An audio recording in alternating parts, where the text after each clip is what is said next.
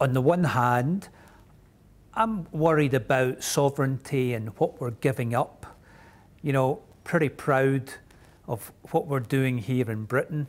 And I wouldn't want to give too much power away to some faceless bureaucrat in Brussels. In terms of my other worry, if we left, I think I would be worried about trade. I'd be worried about London's position as being the financial capital of the world. But I'm still undecided.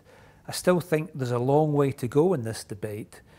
I find it really confusing when people of the same political party are ripping each other to shreds with this argument and this claim and counterclaim, and it's hard to get to say where are the facts. I think at this point in the debate, it's too close to call. I think always in these debates, it's quite boring to argue for the status quo. And I think the Leave campaign have got probably more charismatic speakers like Michael Gove and Boris Johnson.